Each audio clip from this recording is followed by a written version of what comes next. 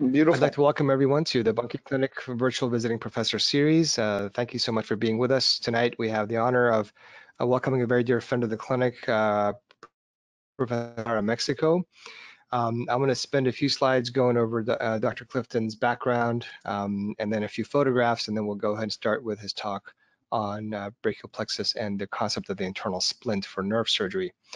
Um, Dr. Clifton obtained his um, uh, medical degree uh, from the Dr. Ignacio Chavez um, uh, Hospital Medical School.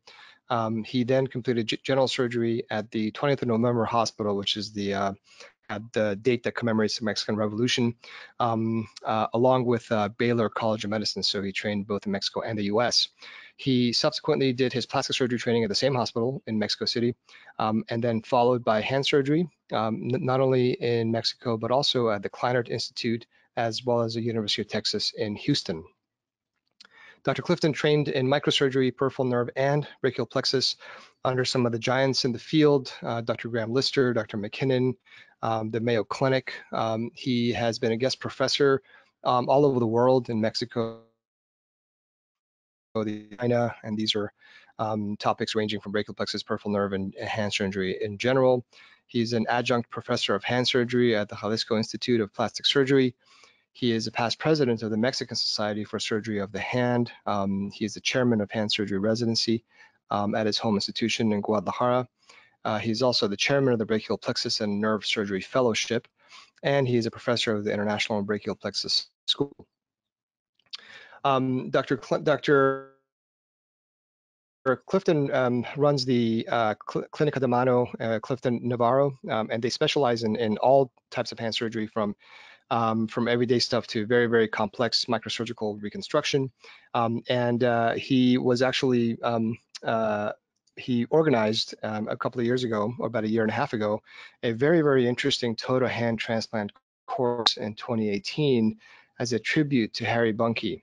Um, this was a, a, phenomenal program, and uh, Dr. Greg Buncke and Dr. Rudy Buntic both attended this, and um, they basically came back with um, with nothing but praise uh, for the quality of the program and for the speakers. Um, and they covered everything from great toe, second toe, toe joints, web space flaps, and also just in, in general management of the amputated finger and the re residual finger. Um, what was really in interesting is, is, I was able to get these photographs um, from Dr. Buncke and Dr. Buntic um, that uh, in Dr. Clifton's house, he actually has basically a microsurgery lab, which is really amazing. Um, uh, this is true dedication uh, for an educator to basically have this set up for folks to be able to come in and train. And you can see Dr. Neil Ford Jones there as well, who is one of the invited um, speakers. Um, both Greg and Rudy uh, really were impressed with the hospitality in general. Um, you can see the middle picture here is in Dr. Clifton's office, uh, the two of them enjoying a glass of wine with Dr. Clifton. And they really raved about just the general hospitality and the food. Um, and obviously the scientific program itself um, was incredible. Dr. Clifton um, such program once the pandemic has quieted down a bit. Uh, but one of the themes of, of the event obviously was uh, giving tribute to Harry Buncke, who really was uh, the person who um, thought of the concept of the free kind of the total obviously as we know is now one of the mainstays uh, in reconstruction of the hand. Um, one thing that I like about this picture um, is that it's uh, basically Dr. Buncke, but also Dr. Clifton and his son. Um, and uh, I believe Dr. Clifton also has a, um, a, son who lives in in the U.S. and so he travels to the U.S. not frequent, not in, infrequently. Um, and also Dr. Uh, Buncke. Uh, was very proud of some of the gifts that were given to him as part of this program, and he actually proudly displays um, uh, this uh, toe transplant uh, course, um, uh, basically figurine that was given to him. Um, and uh, there's also the plaque, as you can see, which hangs on his wall. So he was uh, very, very proud to be a speaker at this um, event organized by Dr. Clifton to give um, uh, basically um, uh, to honor his father, Dr. Harry Buncke. With that, Dr. Clifton, thank you so much for being with us. We're really um, excited about hearing your, your, your talk to us tonight. Well, thank you very much, Dr. Safa. Was that was very. Uh, I feel like very honored for everything that uh, you said about myself, and uh, and I'm happy that uh, Dr. Gregory Buncke and Dr. Rudolph uh, really enjoyed the, the program. Okay, I'm going to cover two topics and, and this around 45 minutes lecture. Uh, I'm going to talk about uh, upper partial brachial plexus palsy, uh, especially the place that uh, nerve transfer has, and how I do some stuff that can be different with other programs. And also going to talk about a uh, few minutes about internal splinting concept that has, I think, has evolved since uh, Dr. Uh, Burkhalter uh, first lecture 1971. Okay, I'm going to talk about injuries C5, C6, and C5, C6, and uh, C7.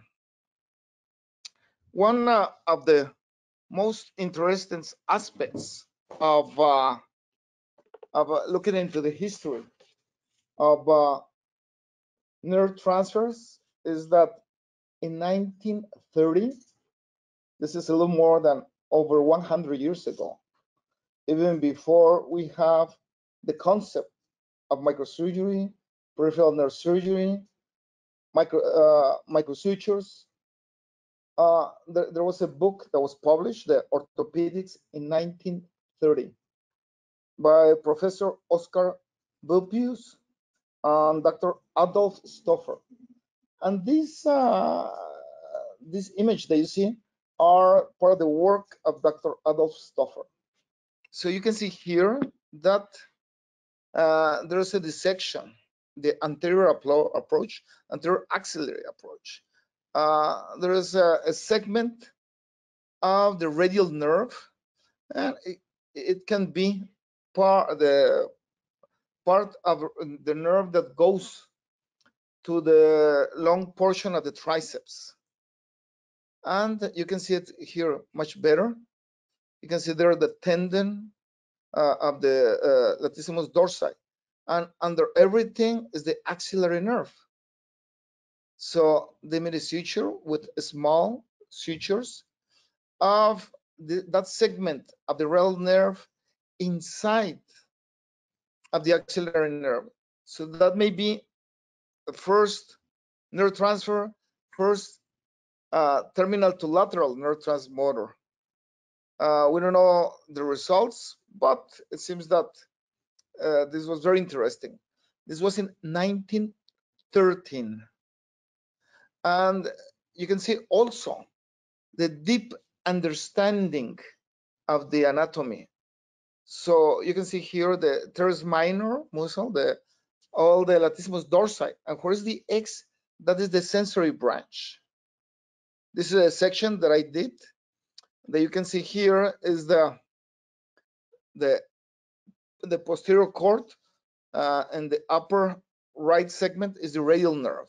So down is the axillary nerve where you can see part of the teres major, then go lower, teres minor, the sensory branch, and the different uh, segments of the anterior and posterior branch of uh, the the deltoid muscle. You can see here something uh, about about in 1948 uh, it was published a paper by uh, Alexander Lurkheim from Russia, and he ha has evolved more the concept about nerve transfer for the shoulder, but also for the musculocutaneous. So when we classic think about doing uh, a nerve transfer, well, we should always, always do a brachial plexus exploration when there's a, a brachial plexus injury, even a partial upper. Don't go and jump straight to the nerve transfers. Only if there is an avulsion or it has passed uh, more than six, eight months, okay, you can do think first in the nerve transfers, but always do the exploration and reconstruction, especially in birth brachial plexus. Because if you don't do the brachial plexus uh, reconstruction, you, you will give a lot of problems to the baby, especially sensory in the hand, innervation at the joint. We have a lot of big problems in those kids. Okay, we can see here, there's two patients with uh, upper brachial plexus injury, no shoulder, no elbow. And uh, one has triceps and the other one doesn't have triceps. Okay, so, and both has pretty good hands. So in the case that we think about nerve transfer, because the timing or the avulsion, we think in, I personally do four nerve transfers, two for shoulder and two for uh, elbow flexion. So number one will be spinal accessory. You can see it here to the suprascapular. That's pretty easy anterior approach. But if there's a, a lot of trauma involved in because it's high speed, high energy, or if there's some fracture that we have of the scapula, then we think in posterior approach. We check that the nerve is working fine, and the transfer goes like really easy, goes pretty good. Uh, uh, sometimes we have uh, an axillary nerve injury. And in this patient that we have an axillary nerve injury, uh, these patients can, some can have complete normal range of motion. So the only way, the only way that we know is because of the muscle atrophy. We look for EMG and uh, you can see it has full abduction and external rotation. But these patients, if uh, there can have the axillary nerve injury, it can be in several places. It can be under the pectoral minor, that is an, a place that we can have, or can also be at the quadrilateral space when it's going. So if uh, how do we know if it's under the pectoral minor or the uh, quadrilateral space by physical exploration and we can also have uh, can have good EMG testing.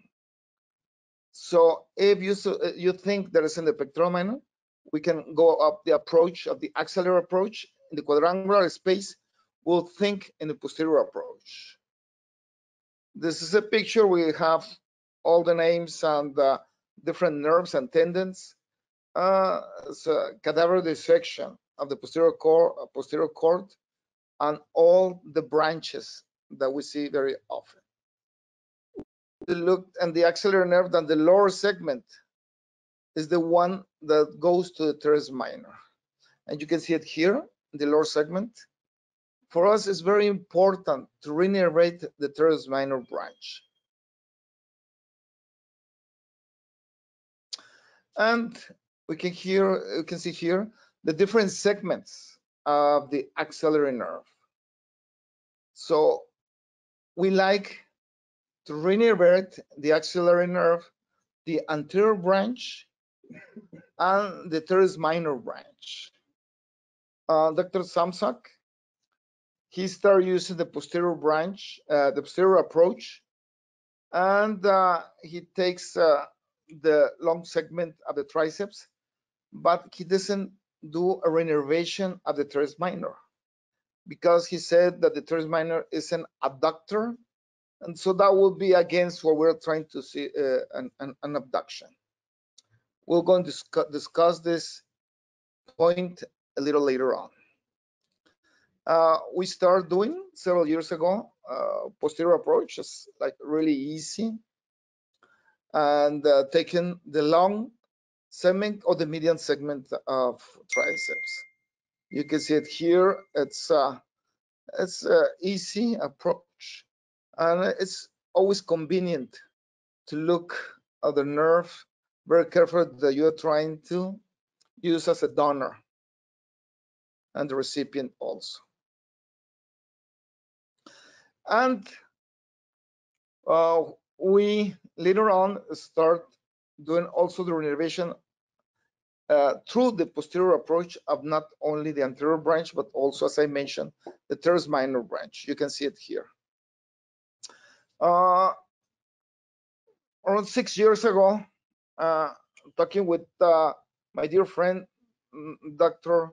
Bertelli, he was uh, giving me a lot of details and teaching me how he likes to use the anterior approach. And the anterior approach uh, is the one I like it very much. And you can see here that this is the segment of the uh, trapezius long branch. And uh, you can see here the axillary nerve divided into the anterior and posterior divisions.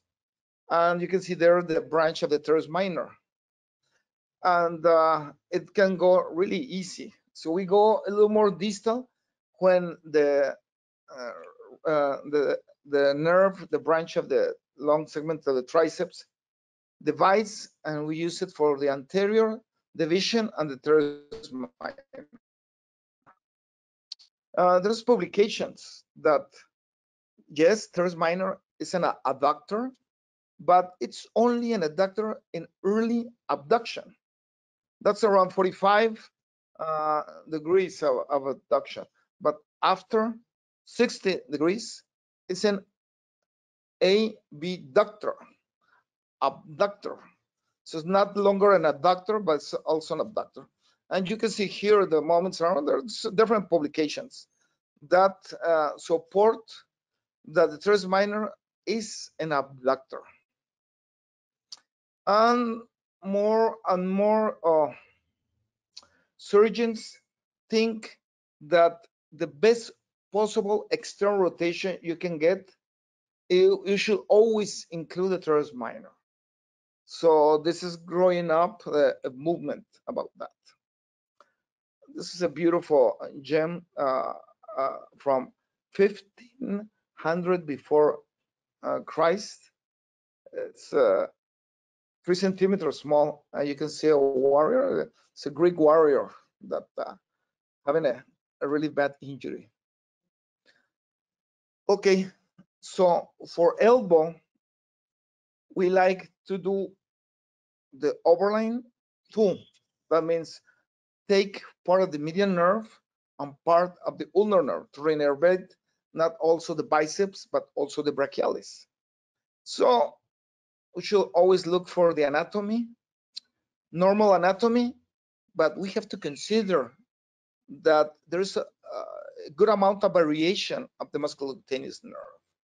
And you can see in this picture, one of the variations from me, uh, median nerve to musculocutaneous look different patterns of musculocutaneous uh, uh, really different innovations.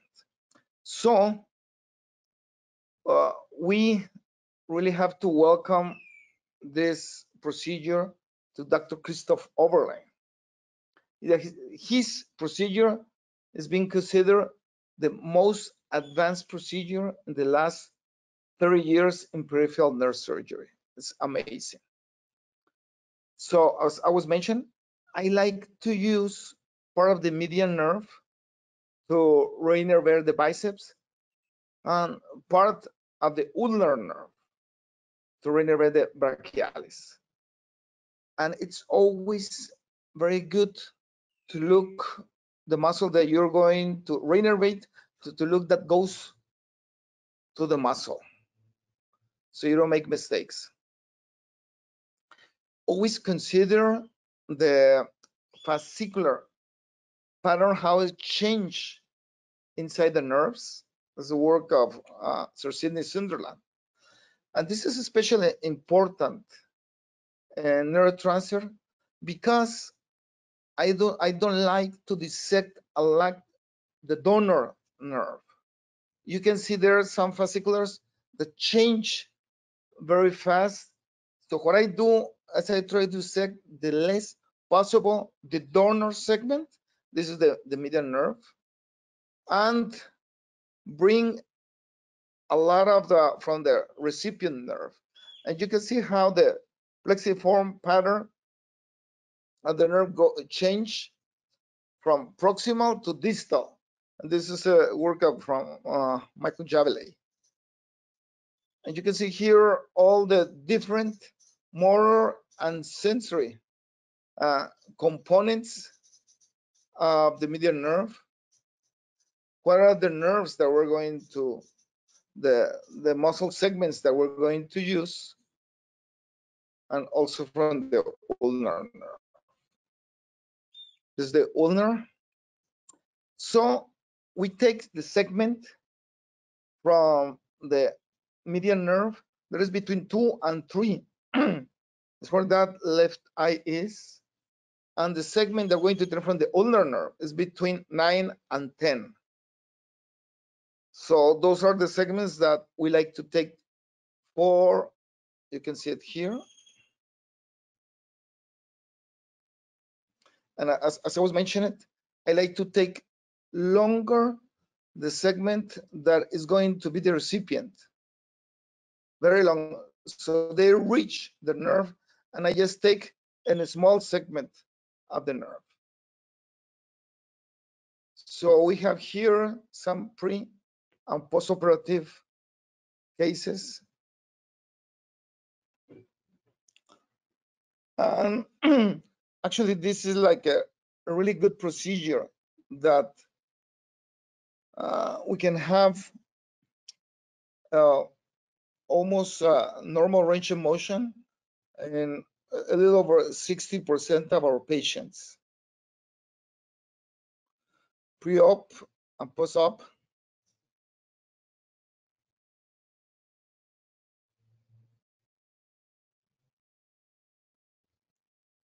Pre-op, post-op.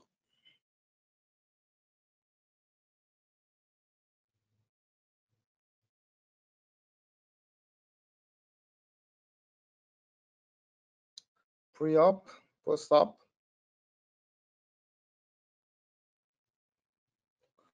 We have here a patient with bilateral uh, upper brachial plexus injury.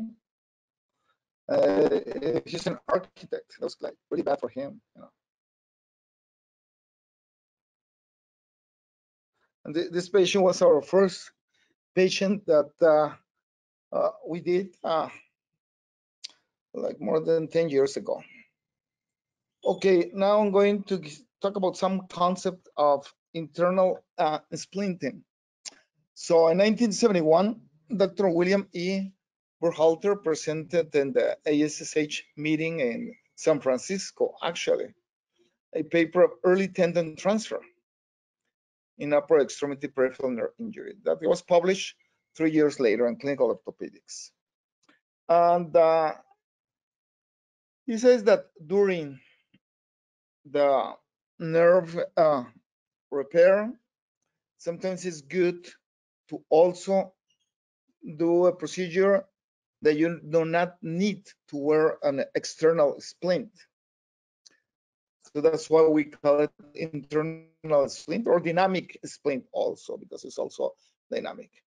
And uh, I'm going to show some cases that this is a, a patient with a a median nerve injury. Uh, she was uh, uh, having a carpal tunnel release, and uh, it was pretty bad, endoscopic carpal tunnel release. So she had all the median nerve damage. So we repair the nerve and also, well, did the the transfer, the tendon transfer. Why doing a tendon transfers? In, uh, in this patient, they were so distal. Well, you know, the issue is that uh, there are some meta-analysis, uh, but the reason that uh, he says that uh, the median nerve, even if it's so distal, doesn't have 100% of recovery. So this patient was really mad of her nerve injury because uh, she said that her hand works perfectly. So maybe it was unnecessary, can be, but with the internal splint, patients can start using their hand really early, and uh, that help us help help them a lot. When there's an ulnar nerve injury, I like to do a, Uh, a volar plate advancement and a dermoplasty.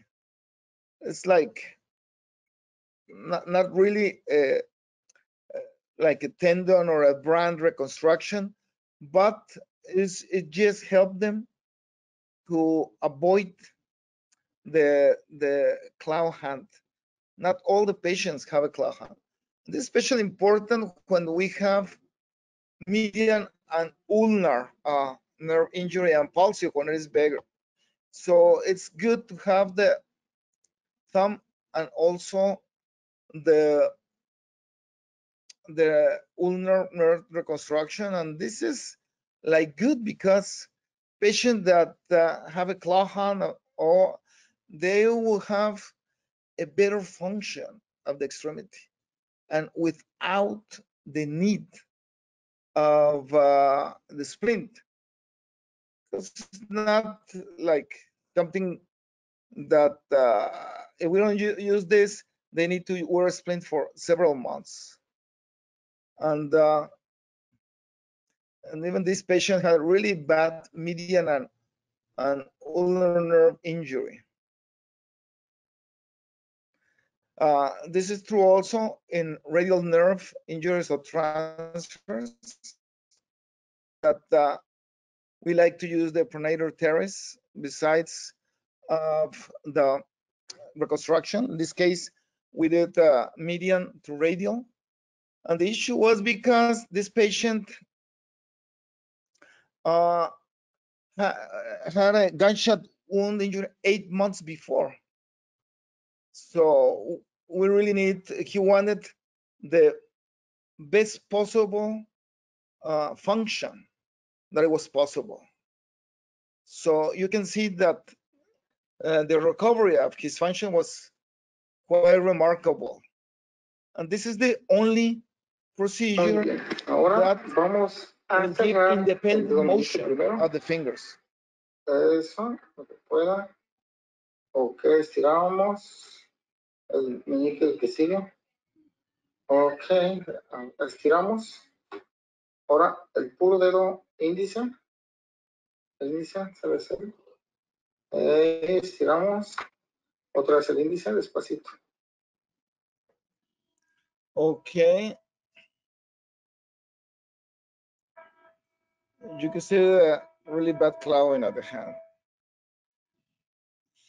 Okay, now I'm going to, I, I live close to a church, so you can listen. So this is a special case. This is a, a patient, uh, 32 year old female that uh, eight months before she had a, a thy- thyroid cancer removed. Uh, and you can see the scar that goes from one ear to the other ear. But it seems that uh, the surgeon, the oncological surgeon, removed all the uh, the tumor, all the cancer.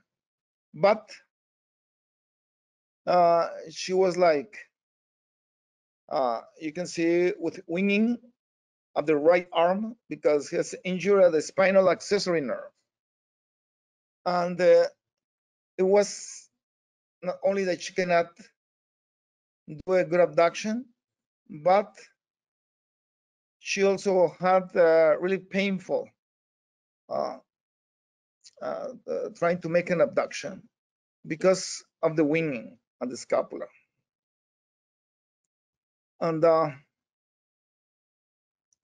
so, let me see. So I I tried to see how look how bad it was the winning that she had.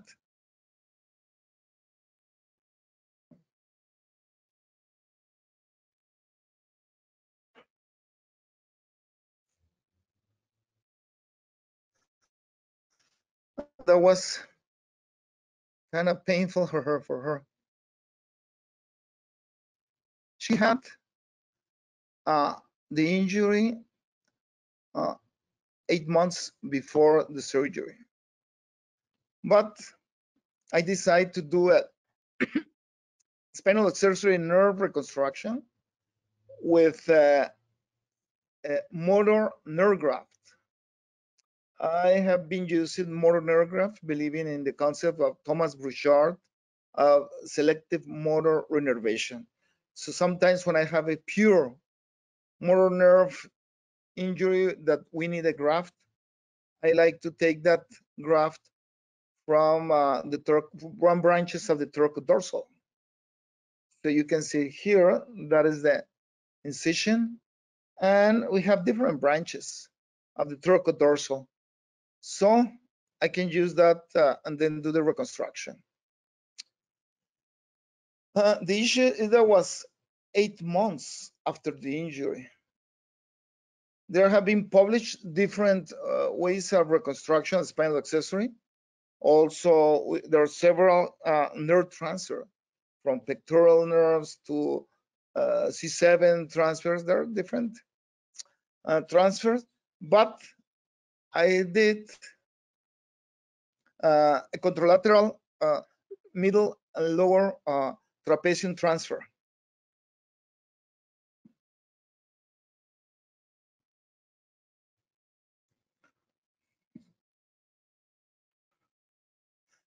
And I made a hold and the scapular under the scapular spine. So we had the scapular spine and under a hole.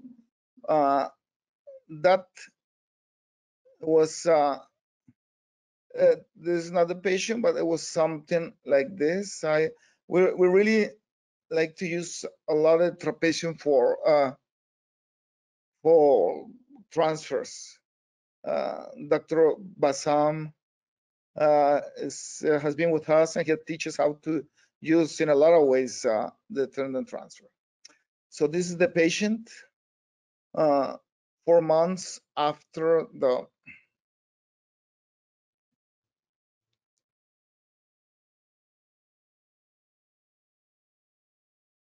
the transfer. This is pre-op. I'm sorry.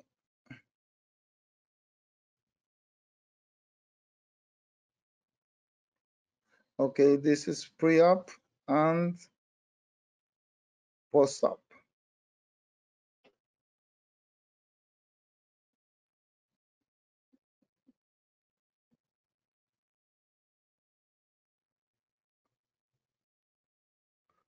Okay. And this is her like six months after the procedure. It seems that the trapezium is starting to have some recovery.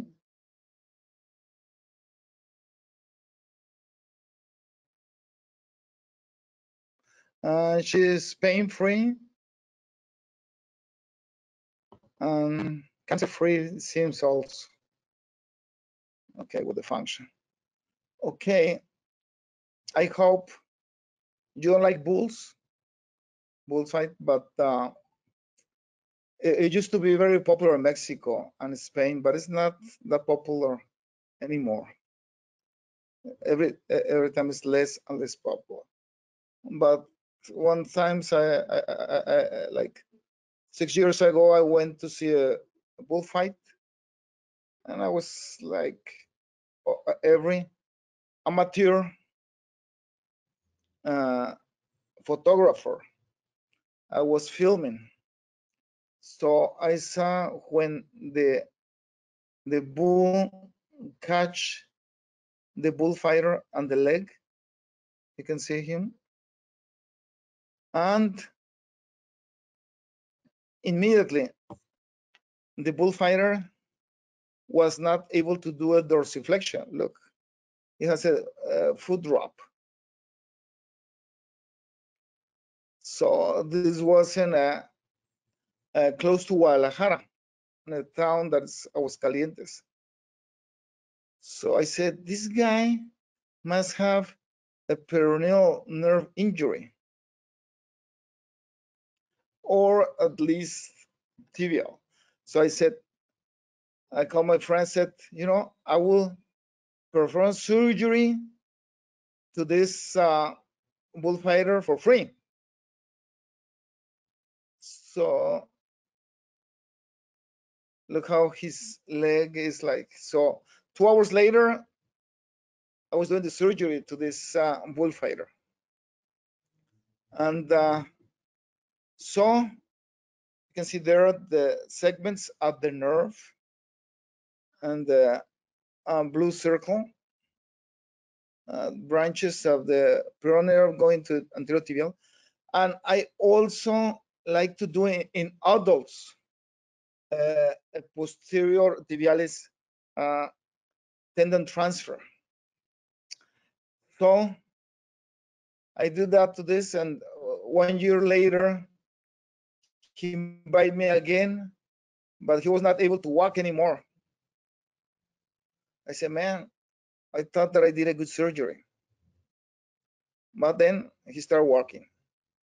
And he had a good recovery of the nerve injury. Uh, I guess because uh, he was lucky that uh, we had the nerve reconstruction done really fast.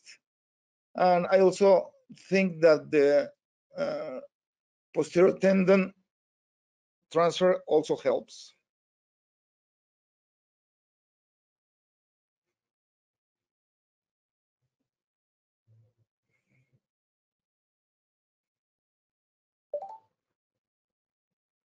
And this is him after.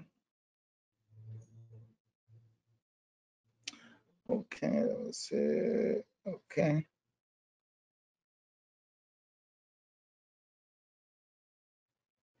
Okay, great. I think uh, I have uh, a couple of minutes left, I hope. And uh, I would like to talk a little about uh, what we're doing in Mexico. Mexico, we started 10 years ago uh, having a fellowship in brachial plexus and peripheral nerve injury. So we started really local with uh, six uh, orthopedic and hand surgeons, also plastic surgeons uh, from our country. And uh, it has grown. Now we have uh, fellows from all over Latin America and Central America and the Caribbean, also a couple from the United States. So most of the South America countries, we have uh, fellows trained in brachial plexus and peripheral nerve. And this has also grown. And uh, uh, two years ago, we started with Dr. Alex Muset, Anil Bhatia, and Dr. Tarek, uh, the International Brachial Plexus School. There is a, a, a rotating uh, fellowship that you want to travel to India for a week, then to Egypt, to Barcelona, and to Mexico. So I think education is very important, and uh, we need more neurosurgeons and brachial plexus surgeons uh, around the world. So I think something that we should really consider. Uh, it was supposed to be next year the 11th Congress of the World Society of Reconstructive Surgery in Cancun, but unfortunately has been postponed because of this crazy coronavirus.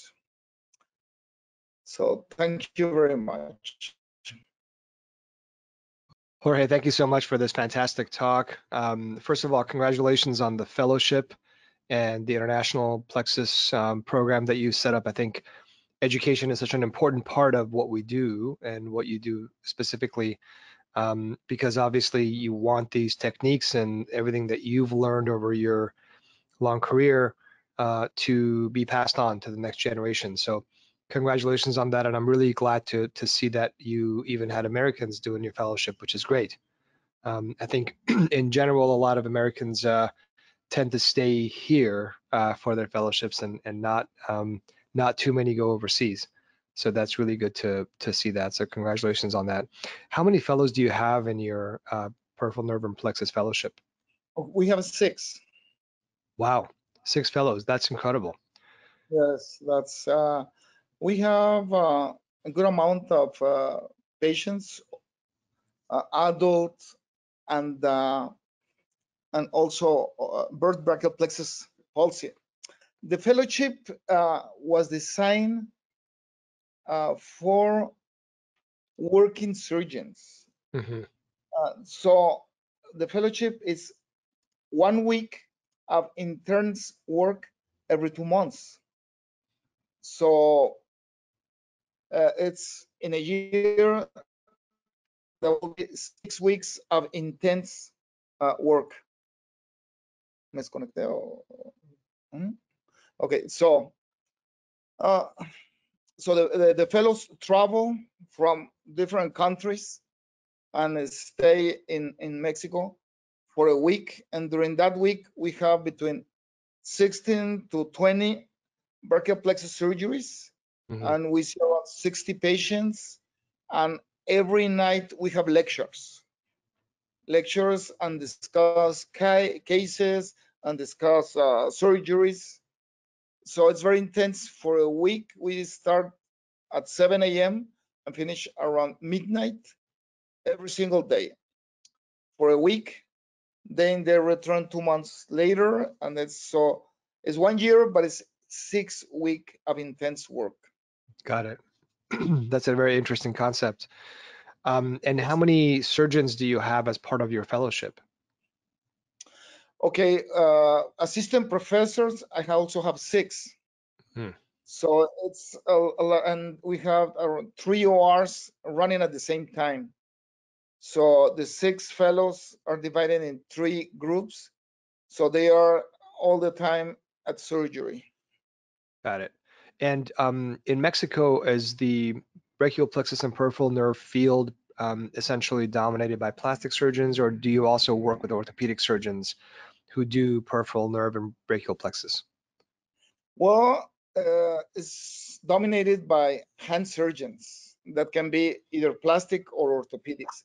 I think that the way to go in the future, it's going to be a little more into uh, hand surgery because uh, when I was doing my hand surgery fellowship in Louisville, that was a long time ago.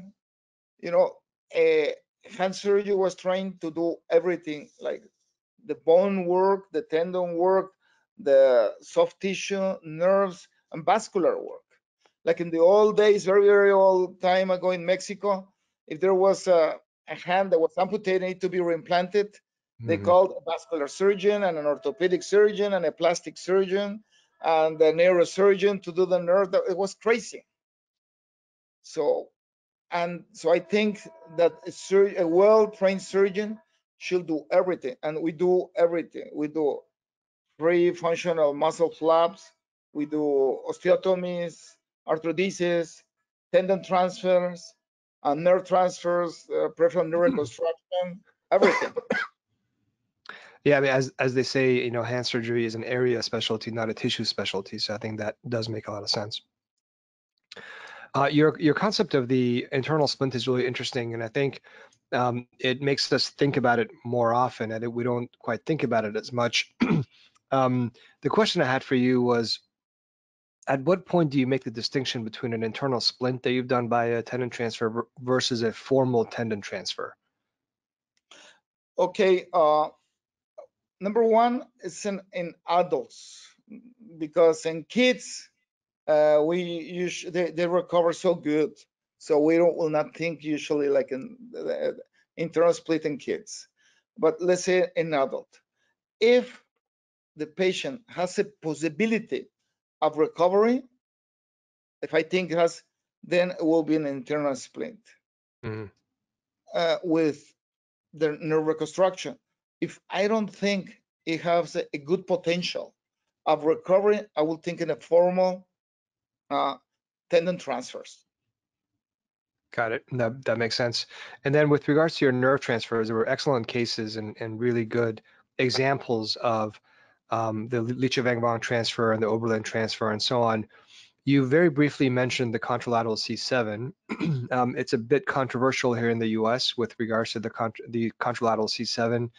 We do know that some of our Chinese colleagues have had good experience with that, especially with the kind of the prevertebral uh, tech, uh, um, route, if you will. Uh, do you have any experience with the contralateral C7 and what are your thoughts on it? Uh, we have done a lot of cases of a contralateral C7 and the motor results hasn't been the best uh, that we can get. So I think for us it's like a growing experience. Mhm. So I cannot say something definitive. But my dear good friend Anil Bhatia, he Mhm. has tons of experience.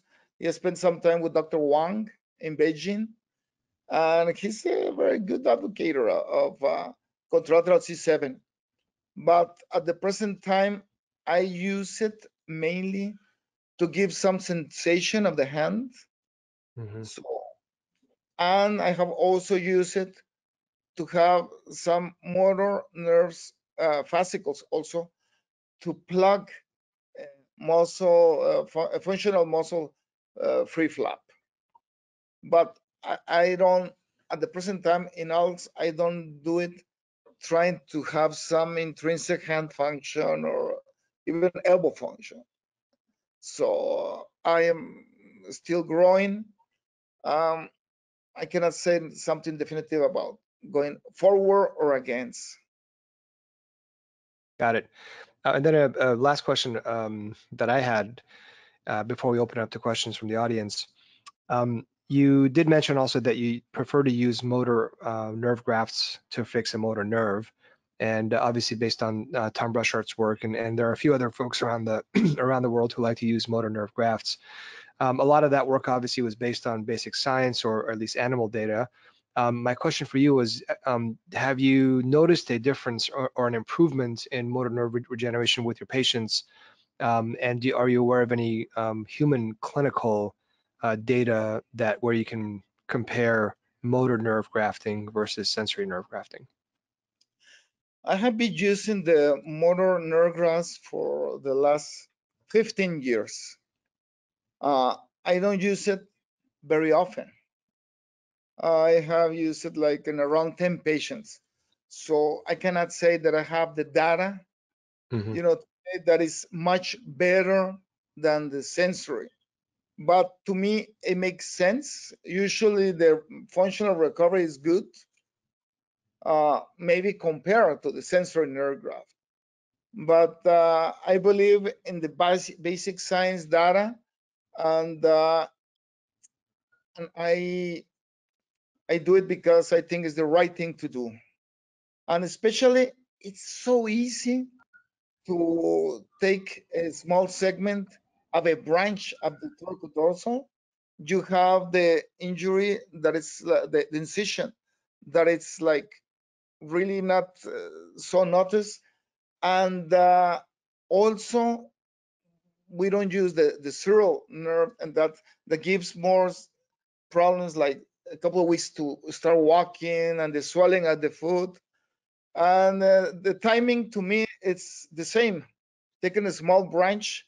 So if I need like small segment a pure motor nerve graft, uh, nerve graft, I, I will prefer to use this. Got it. And what's the uh, limit of length that you've used these motor nerve grafts uh, for? Well, I have taken like for almost uh, 15 centimeters, 15, 18 Hmm. centimeters. Uh, very long. I don't denervate the latissimus dorsi completely, so it's just part, so still works. Got it. Great. Yeah, I'm, I don't really have much experience with that, uh, but it's something that I've always been interested in. So I was curious to see um, see what, what your thoughts are on that. well, Dr. Clifton, thanks so much for a fantastic lecture. Um, we, we really enjoyed it, and I'm looking forward to uh, including this in our visiting professor virtual library that we have. And also, I'm looking forward to hopefully visiting you in Mexico as well at some point. That would be awesome, uh, Dr. Safa. I will be honored if uh, having you as a guest in our Great. clinic. Thank you so much, and, and we hope to uh, see you soon in person And uh, please stay safe down there. You too, sir. Great. Take care. Have a good night. You too. All right. Uh, bye-bye. Bye.